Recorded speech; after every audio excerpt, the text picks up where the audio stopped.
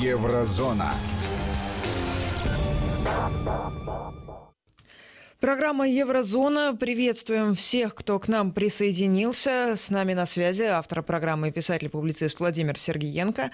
Вот я прочитал сегодня новое слово для себя. Э, и, в принципе, написано без запятых, без каких-то дополнительных знаков, одним вот целым словом. Каждый виток Евросоюза – в скобках евродеградация, приводит его в худшее положение, так как выбранная их модель взаимодействия не предполагает улучшения взаимодействия с Россией, написал нам Александр.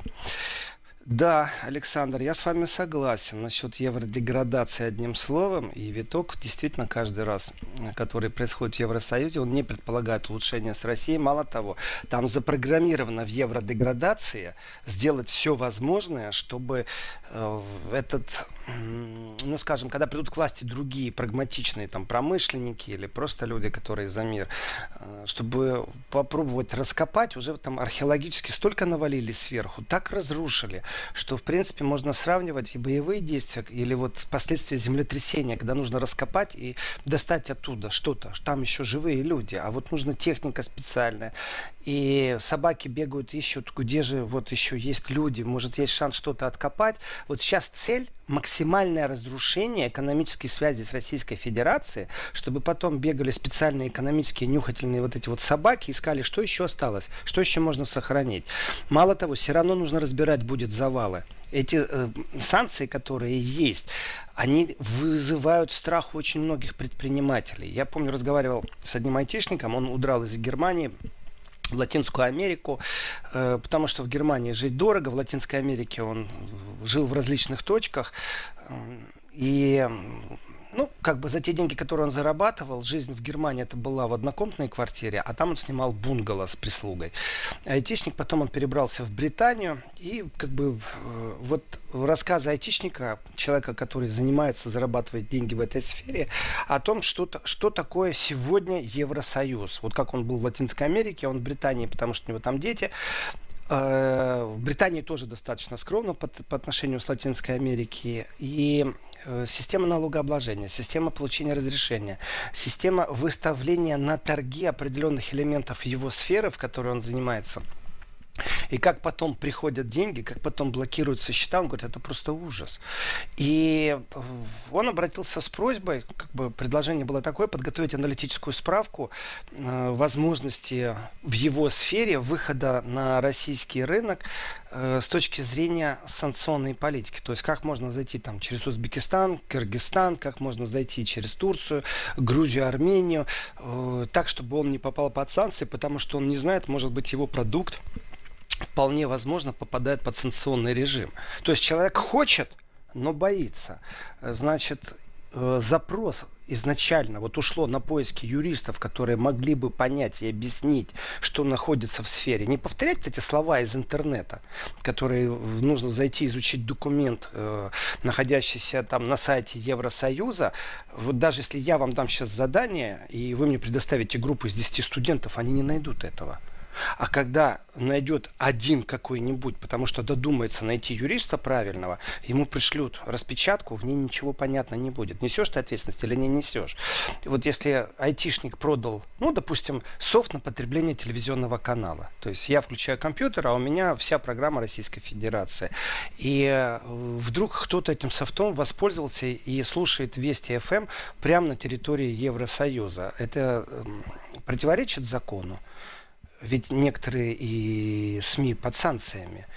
И ответ не очень прост. И в этом отношении желание убить просто любое инвестиционное развитие, то есть чтобы никто даже не касался, это желание э, превратилось в фанатическое действие.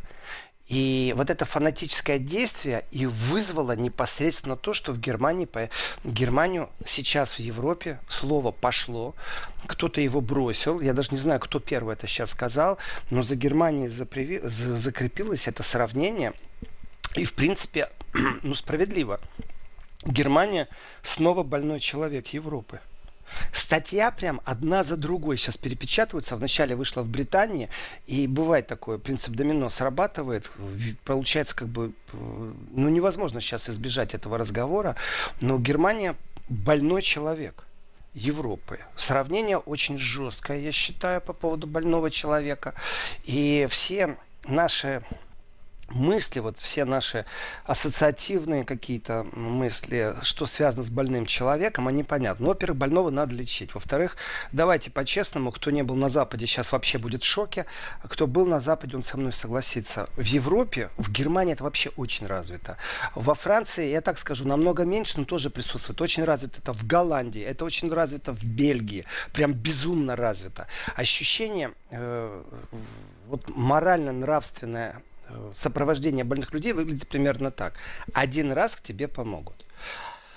А, у меня есть хороший знакомый, он когда-то делал по заказу, мне кажется, это тогда жена Саакашвили заказала ему э, фотокнигу царицы Тамары, то есть дороги, такие места в Грузии, которые красивые, могут привлекать туристов. У него произошла травма, он упал, в общем, его парализовало на 9 месяцев, еле вытащили из этого состояния, с болями ходит, к профессиональной деятельности очень тяжело возвращается. И вот он рассказывал, что когда только упал, все звонили и говорили, чем тебе помочь, чем тебе помочь. А он говорить не может, э, потому что он парализованный, ему дали такую систему специфическую, чтобы он мог отвечать на, по громкой связи.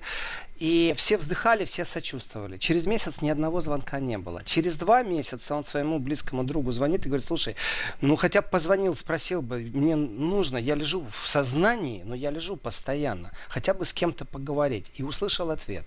Услышал чудовищный ответ, но для меня это типичная ситуация. Я не могу сказать, что это присуще всему Западу, там, всем немцам. Нет. Знаю других людей, знаю тех, кто э, дома ухаживает за матерями, которые больны Альцгеймером, и у людей психика расшатана наглухо, но они своих матерей не отдают. Тоже в Германии, тоже есть такие немцы, но это исключение. А вот те, которые говорят, что, э, ты знаешь, твое болезненное состояние очень сильно на меня давит психологически, э, и я уже стал обращать внимание, что я гружусь своими проблемами больше, чем своими, поэтому я решил взять какую-то паузу, я к тебе очень хорошо отношусь, а теперь смотрите, беру это раз и переношу сразу это мышление на экономику Германии. Кто-то запустил сейчас этот нарратив. Германия снова больной человек Европы. Нарратив приходит из Британии. Как относятся к больным людям европейцы? Ой, давай повздыхаем, немцы больные. Ой, а чем же вам помочь? Ой, а как же вам Германия помочь? Может вам электроэнергию продать в четыре раза дороже? Можем, мы же Соединенные Штаты Америки. Это был звонок Байдена. Ну да, пожалуйста, берите, вот жиженый газ в четыре раза дороже, чем российский. Ну, ваша проблема. Чем вам помочь? Дальше, французы тоже Макрон позвонил, говорит, ой, чем же вам помочь, вы же так больны. Ну, у меня есть атомная электроэнергия, берите тоже в два раза дороже, чем она была у вас на территории.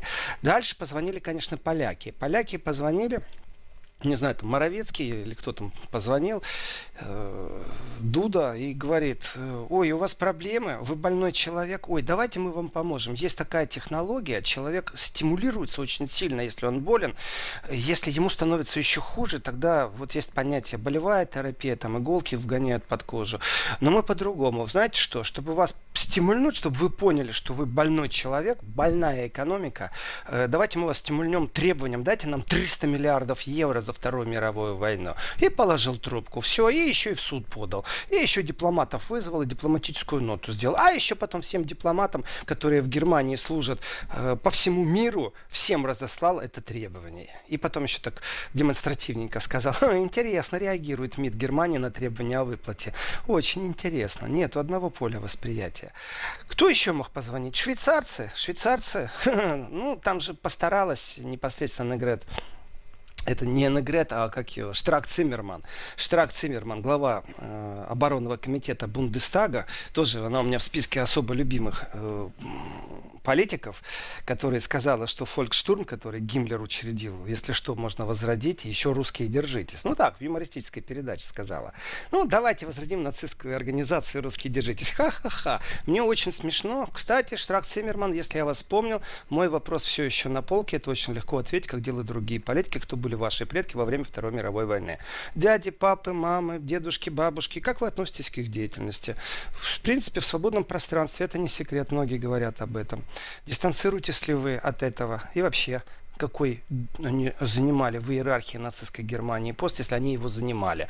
Может, под Сталинградом погибли, у вас действительно реваншизм живет. Ну, просто публичности надо знать. Лоббируете вы просто интересы э, оружейников, ну, непосредственно кто продает сейчас э, технику, и это все ложится на плечи налогоплательщиков в Германии, и кто-то зарабатывает, их лоббирует, или все-таки есть такой маленький комплекс, ну, реваншизма, а? Штрак Циммерман, я, как всегда, знаю, что вам это на стол положат. Но идемте дальше. Германия большой человек. Швейцария. Швейцария говорит, э, вот Штрак Циммерман пробовала нас обучить нейтральности. Она сказала, что мы не считаемся, швейцарцы, с проблемами соседей. Мы считаемся, мы остаемся нейтральными сказала Швейцария. И вот больной человек, о котором пишут сейчас в Германии, это немецкая экономика, которая действительно застряла в определенных местах. И все соседи, которые поиздевались сейчас над больным человеком, это называется экономика Германии, на самом деле занимаются своими делами. Ну, вспомнят опять, ну, я тебе пиццу закажу по телефону в больницу. Э, не буду я тебе бульон нести. Это чужой менталитет. Он для многих непонятен, но это правда. Они так друг к другу относятся. И в этом отношении Германия остро нуждается в инвестициях. Ну кто же ее даст-то, эту инвестицию, то немцам там. Даже само государство не хочет инвестировать и давать. Вот я в первом части сказал, в самом конце, о том, что в принципе претензия правильно, где застряли безвозвратные деньги из Евросоюза, чтобы э, польские предприниматели после пандемии восстановились. Где эти деньги? Кто такой вредитель? Кто занимается саботажем, что этих денег нет еще у польского народа? Ну вот они там будут судиться сейчас. Вот такой же вопрос к немцам. А где эти деньги, которые, по идее, должны были бы компенсировать сейчас большому индустриальному немецкому бизнесу определенные вещи? Вещь номер один лежит на поверхности. Полная и безоговорочная капитуляция на территории России немецкого автопрома китайскому автопрому. Шахмат. Проиграли. Ушли им сказали, чтобы они ушли. Не потому, что они политически такие жестко мотивированные, им просто сказали. Там, кстати, э, всплыла интересная вещь, в том числе э, автопром должен уйти не потому, что это может э, как-то существенно повлиять на экономику России. Нет, оказывается, возможна передача технологий, которые могут использоваться Российской Федерацией, начиная от чипов машинов, заканчивая тем, что машины можно как-то э, ну, по-другому, там, я не знаю, бронировать пушку в лобовое стекло вставить, не знаю, что там можно делать, но в том числе и эти мысли были при аргументации, когда давили на немецкий автопром, чтобы он уходил из России. Вы понимаете, кто давил? Ну, не Бербок же давила. Ну, смешно просто. Она, она не может продавить такую империю, как Volkswagen, или такую империю, как Daimler. Вот. И э, разговор о больной экономике, который из Британии начался, связан, между прочим, не просто с оценкой ситуации э, в Германии. Ну, жирок-то есть. Запас прочности у экономики Германии есть. И разговор о том, что смотрите внимательно, внимание, вот здесь вот рецессия. Рецессия началась уже в первом квартале этого года. У нас уже четвертый квартал, считается там три года падения ВВП. О, внимание, внимание, внимание, смотрите внимательно. МВФ, Международный валютный фонд, посчитал, оказывается, все страны будут развиваться, а Германия, ну, я имею в виду сейчас G7 как минимум. Так вот, в группе G7 Германия единственная, кто не будет развиваться таким темпом. У нее очень маленький высокий темп и вообще вполне возможно, как это принято интересно говорить, отрицательный рост ВВП. Задержка очень сильная по отношению к другим странам просели неимоверно. И вы знаете, с точки зрения аналитического круга, когда мы сидим и будут меня обвинять в том, что я пропагандирую, как в Германии все плохо, я так ненавижу э, немецкую экономику, не-не-не, ребята, вы стрелки не переводите. В Англии, когда говорят о том, и громко говорят о том, что, не в Англии, в Британии, о том, что, смотрите, экономика Германии просела, она в рецессии, МВФ говорит, что рост будет совсем другой, замедленный рост вообще сравнить нельзя, это подлейший шаг по отношению к больному человеку. Если я инвестор, я буду инвестировать деньги тому, кто болен, и мне его жаль, мне нужно его поднять, не, ребята, вам сейчас нужно напечатать слова Эльфа и Петрова большими буквами и, в принципе, на каждом шагу раздавать листовки. Все, что связано с экономикой Германии, оно подходит под принцип нашей, в принципе, классики. Дело спасения утопающих, дело рук самих утопающих. Точка. И когда Британия начинает это движение, я смотрю, как перепечатали Бах уже на французском, Бах уже на немецком во многих местах, притом э, сетку-то мы составили давно, кто реагирует на запросы извне в немецких СМИ. Ну, то есть, понятно, вот это внутренне ориентированные на немецкую экономику, политику общества, эти новостные СМИ. А вот эти конкретно танцуют по методичке. Там ярко выражено уже есть СМИ, которые по методичке. Бах, они перепубликовывают тоже британские рассуждения об экономике Германии. А вот это и есть удар подлости по больному человеку. Потому что ни один инвестор не будет сейчас инвестировать в Германию. Зачем инвестировать туда, где нет прибыли? А если нет прибыли, то надо искать новые места. И хедж-фонды, которые начинают BlackRock, который один из мощнейших, и понятно, штаб-квартира, конечно же, в США, конечно же, распределяя свои инвестиционные потоки. А вы обратите внимание, есть еще такие же мощнейшие фонды в Индии, есть такие же мощнейшие фонды в Китае. То теперь вопрос, если вы директор фонда, который инвестирует деньги. Если вы частный предприниматель, а не директор фонда, после того, как вам очень грамотно разложили по полочкам, что Германия это больной человек Европы с точки зрения экономики, будете ли вы туда инвестировать деньги? Конечно, вас может поинтересовать то, что можно купить за ноль. Ну, за 1 евро и перенять там технологию, как когда-то продали с сохранением рабочих мест там, целый завод Nokia, и после этого Nokia совсем исчезла. Купили для того, чтобы больше не было конкурентов. Но это отдельная игра. А вот с точки зрения, когда вы точно знаете, дали тысячу рублей, хотите получить 1100. Дали 1 миллион, хотите получить миллион и 100 тысяч. Вот с этой точки зрения борьба начинается информационно. Все, кто когда-то следил за биржами, прекрасно знает, что биржа во всех торгах, при всех расширениях, когда что-то выводится, там все фильмы голливудские, забудьте. Вот эти инсайдерская информация, потом пришло ФБР, арестовало Майкла Дугласа, и выяснилось, что он идет на сделку, и такие все плохие, а на самом деле разговор идет о простом. Знали, что кто-то выходит на биржу, знали, что будет медийная шумиха, эту медийную шумиху устраивали. Это очень прибыльно, и те, кто два года назад знали, что нужно вложиться в Райнметалл, потому что государство будет покупать танки для поставок на Украине, они сделали это. Два года назад, они когда уже все узнали, что у них дополнительные заказы идут из государства. Притом еще и Евросоюз помогает. И это относится не только к Райнметалл, ко многим э, производителям оружия. А если вы знали пять лет назад, что нужно будет срочно производить маски и вложились в это, то вы заработали на масках во время пандемии. Потом эти маски уничтожаются Евросоюзом, скупаются какие-то лаборатории, воруются умные люди, которые занимаются исследованием в этой области. Я имею в виду воруются не в смысле мешок на голову, а им делают предложения, от которых невозможно избавиться. Напоминаю, в овальном кабинете в Вашингтоне был приглашен один из главных немецких игроков на рынке э, вакцин против ковида. Просто вот так вот раз за два дня и встречу устроили. Президент США и какой-то там директор маленького предприятия, у которого есть прорывные технологии. Это по поводу воровства. Так вот, инвести... инвестиционная политика внешних игроков в Германии, она на сегодняшний день будет убита такими репортажами. Никто не будет инвестировать деньги в больного человека. Это закон. И он писанный этот закон. Ни один э, председатель совета директоров любого фонда не возьмет на себя такую ответственность. Ну что его сместят просто. Поставят другого, который не принимает таких решений. И, конечно же, это э, все-таки медийная спецоперация против э, экономики Германии, конечно же. И она на все сто процентов соответствует положению вещей. Слабый канцлер, э, политика перехода из одной электроэнергии в другую электроэнергию во время перехода, ну извините, сами по себе.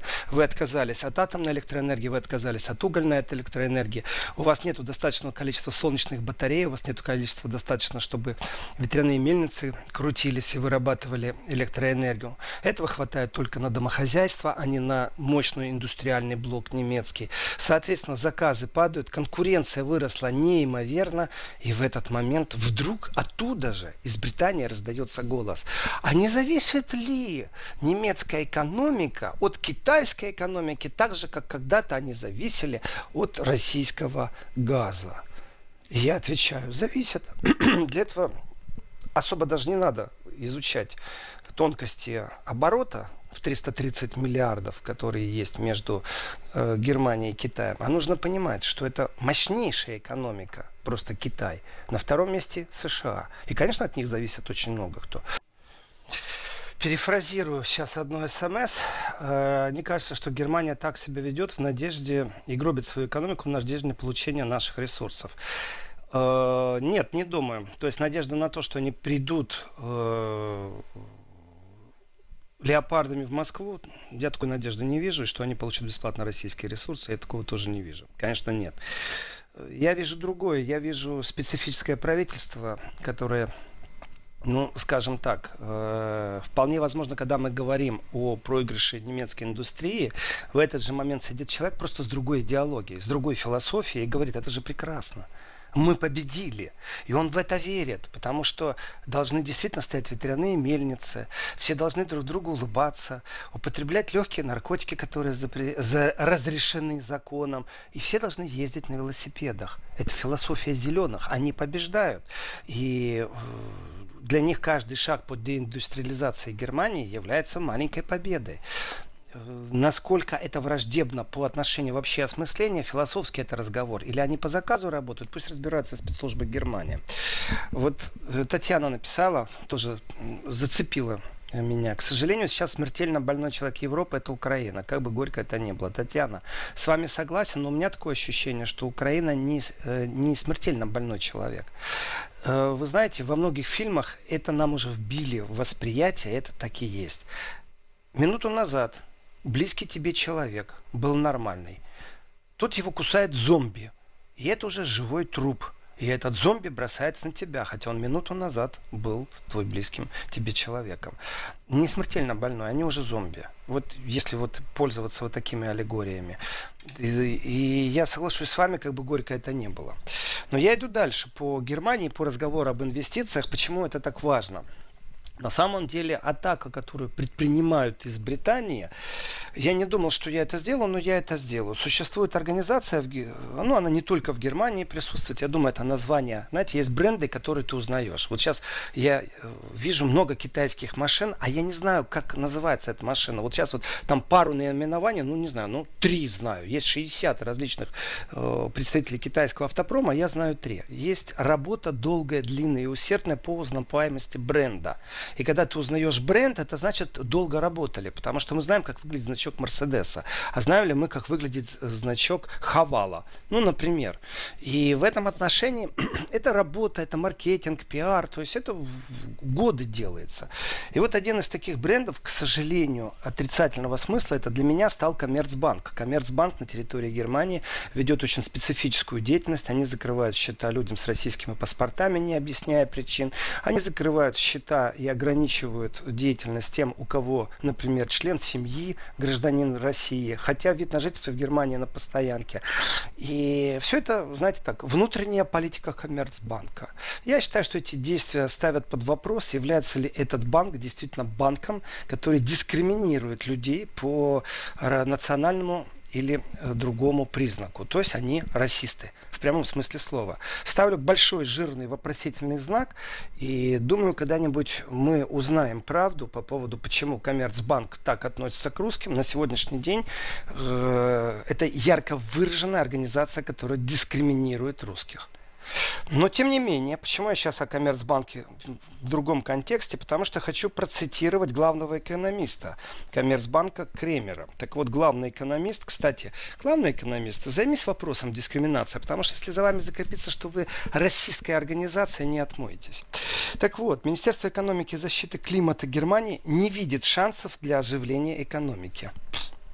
Даже в среднесрочной перспективе. Привет всем инвесторам. Это Министерство экономики. Дальше разговор о падении производства. Дальше о том, что розничные продажи очень сложные. Там инфляция, стагнация. Что вместе стагнация и инфляция это стагфляция. Дальше. Э, вот почему я вспомнил этого Кремера, главного экономиста, потому что он рассуждает на тему, что пути выхода из кризиса правительство Германии еще не предоставило. И во всех этих рассуждениях есть еще огромное количество моментов, которые на первый момент не видны. Бэйби-бум был период расцвета, в том числе экономики Германии, план Маршала. США дает под супер, на супер условиях и прокачивает экономику Федеративной Республики Германии так, что немцы взлетают, рост от 11 до 15 процентов ежегодный ВВП, план Маршала. Ну, план Маршала был чуть-чуть в Голландии, чуть-чуть во Франции. Но в Германии понятно, почему он был особый. Для того, чтобы восточные немцы смотрели завистью на западных. Американцы в этом отношении сделали прагматично и мудро, я скажу так, с точки точки зрения врагов наших. геостратегических. И рост был, когда такой рост, когда ты работаешь мало, когда ты каждые пять лет простой рабочий можешь поменять на новую машину, э, это золотая эра. И в этот момент происходит бэйби-бум если мы отсчитаем сейчас, когда произошел бэйби-бум, когда Германия по приросту населения, дети и демографические вопросы были определенного плана, э, в хорошем смысле слова, то вот этот бум, э, это те, кто сегодня уходит на пенсию, притом массово.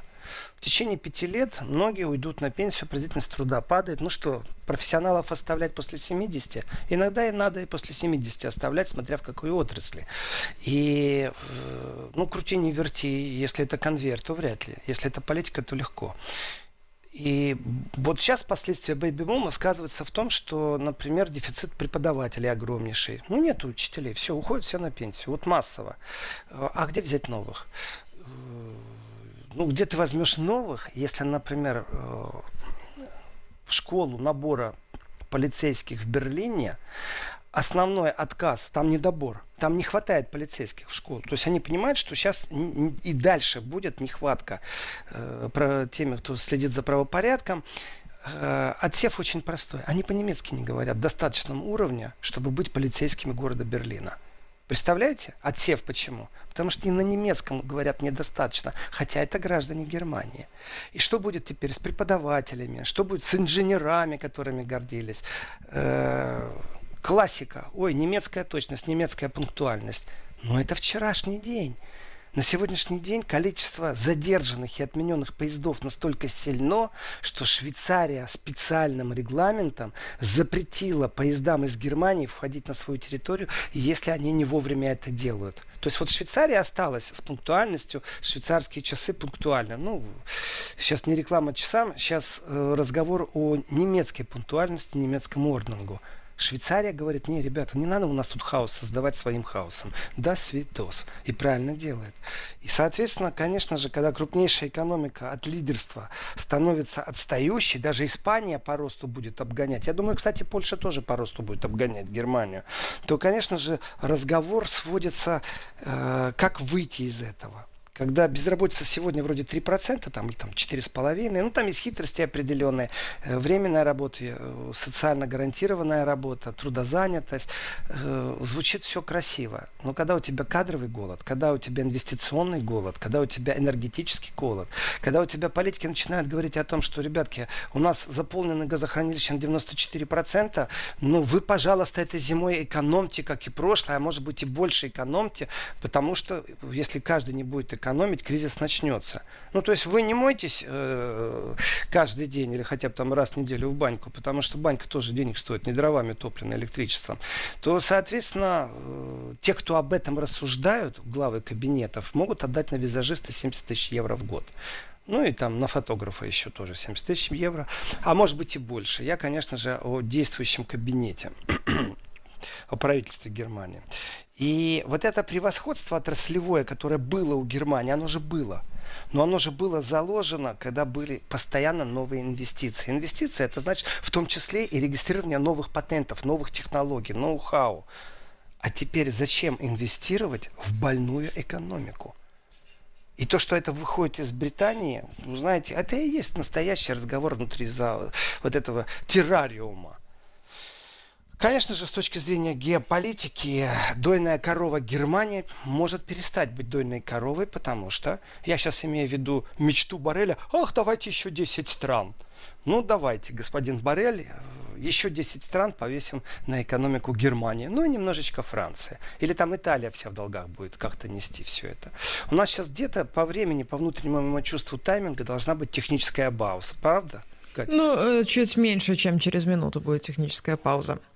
И после технической паузы я перейду э, к министру обороны Великобритании, расскажу, в чем нюанс, где там собака зарыта в этом отношении, тоже очень интересно. Так вот, противовес и противостояние, атака идет на Германию, чтобы Германия стала избавляться от китайской зависимости товаров.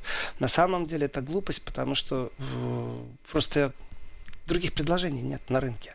Это значит ввести сейчас санкции, как против России, и обрезать полностью экономику. Мне кажется, что этого больного человека хотят реально лопатами забить и захоронить. Телеграм-канал Сергеенко, подписывайтесь. Сейчас регионы уходят на местные новости. Ко всем остальным мы вернемся после очень короткой паузы, буквально через несколько секунд. Вести ФМ. Продолжаю разговор. Сейчас закончу про экономику, перейду к голосу. Э, энергетический переход. Это болезненная вещь. Для некоторых она фанатическая. Я же говорю, зеленые могут чувствовать, что они даже выигрывают. И здесь появляется противоречие. Я обратил внимание на постоянную ложь, которая присутствует в информационной политике мне очень неприятно, когда э, наши коллеги или, скажем, э, смежные профессии, имеющие отношение к оценке работы СМИ и прочих вещей, начинают рассуждать с точки зрения Запада о процессах, связанных с экономикой между Россией и Германией с точки зрения пропаганды. Почему неприятно? Потому что я прочитал в пропагандистском ресурсе э, Deutsche Welle, это государственно-пропагандистский ресурс, о том, что, оказывается, «Газпром» виноват, что даже в холодную войну э, это было всегда поставки гарантированные газа, и вот ненадежность Кремля это в том, что в одностороннем порядке «Газпром» перестал э, поставлять газ, и тем доказал, что это неправильно была ориентировка, что вот этот э, нарратив, что в холодной войне газ был поставлен, а сейчас вот нет, что теперь нужно понимать, что России доверия нет. Подлецы вы, господа в Deutsche Welle, и не больше, и не меньше в своем пропагандном государственном ресурсе. Потому что вы прекрасно знаете по поводу турбин, по поводу ремонта турбин, по поводу, как Канада не давала турбин. То есть Россия должна так, мы прокачиваем газ, и сейчас у нас тут взорвется, потому что на самом деле посадите немца за руль машины, у которой техосмотр просроченный посадите, а то есть, а Россия должна прокачивать с просроченными или с теми, кто э, действительно находится под угрозой лопастями, турбинами и всякими другими э, насосами э, которые сделаны Сименсом, должны в одностороннем порядке делать то, что вы говорите. Вы просто такие, ну, заказные, э, дешевые вруны. И прекрасно вы знаете, что в принципе можно было бы вопрос решить с поставкой турбин, в том числе и из Канады, с чипами, которые туда вмонтированы, правда, в эти турбины, и которые могут контролировать, как, что и как останавливать. Но можно было бы договориться и позже, через месяц, через два, и даже в судебном порядке, если что-то «Газпром» нарушил. Но что, язык не поворачивается поговорить о том, что скрывает правительство Германии за взрывами на Северном потоке-2. Это типа в одностороннем порядке «Газпром» виноват я действительно вручаю премию под лица неделю пропагандисту Deutsche Welle, который написал вот эту заказуху о том, что «Газпром» в чем-то виноват. С большую медаль подлеца. И вот опять же, получая моральное удовольствие, они же слышат все. И идем дальше. По поводу бэйби-бума я сказал. Значит, э, вопрос немецкой экономики, краткосрочная перспектива рост. Да, сейчас будет отток инвестиций, и время, которое близится, это время кризис-менеджмента в высших эшелонах власти. Высшие эшелоны власти должны успеть сделать какую-то перестройку. И вот это ожидание перестройки, это последняя надежда Шольца. Не будет экономической перестройки сейчас в Германии, ну, значит, не будет Шольца. То, что его не будет в следующем правительстве, это я не уверен, потому что они могут объединиться с бывшей партией Меркель. Войдет он каким-нибудь министров экономики или финансов, или его партия кого-то предоставит. Но сейчас вопрос очень остро. Не будет экономического плана, не будет экономической перестройки в Германии. Этому правительству жить осталось недолго в экономическом и в политическом смысле слова. И обещанная тема по поводу Бен Уоллеса, э, министра обороны Британии, которого как-то так поспешно убрали. Дорогие друзья, все очень просто. Тот, кто покупал машину в салоне, он прекрасно знает. Когда машина новенькая, тебе говорят, вот есть простая комплектация. Комплектация бюджет. Только передние стекла электрические опускаются. Когда у вас, э, вы говорите, а можно, чтобы задние тоже опускались? Да, конечно, плюс там 3000 э, рублей. А можно, чтобы гидравлика на руле была? Ну да, конечно, плюс 5000 рублей. И у вас дальше из бюджетной комплектации переходят некоторые вещи совсем не в бюджетную комплектацию. И вы сталкиваетесь с тем, что ваша машина уже обладает электроникой, уже дисплей э, современный, э, АБС работает, подушка безопасности открывается на боковых ударах. И цена на машину стала такой, как, например, на поддержанный трехлетний аналог ну, какого-то другого производителя. И вот эта разница между базовыми вариантами и не базовыми вариантами, это на самом деле очень серьезно военной техники. В военной технике точно так же существуют базовые варианты. Потом существует базовый вариант, например, из фильмов многие помнят, вот этот замечательный, воспетый голливудским имиджем вертолет Boeing CC-47 Chinook.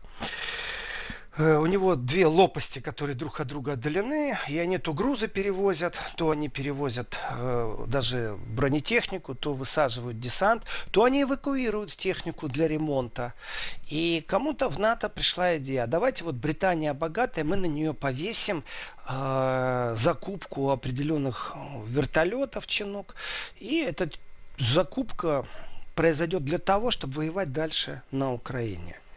Вы знаете, там базовый вариант стоит там порядка там, 30 миллионов долларов и выше. Базовый. Но если усилить бронирование, если усилить вооружение, если там модификация с новым двигателем, с новыми лопастями, ну там может быть вообще там электричеством они будут заряжаться. Я же не знаю, насколько они модифицированы на сегодняшний день. Шучу, конечно.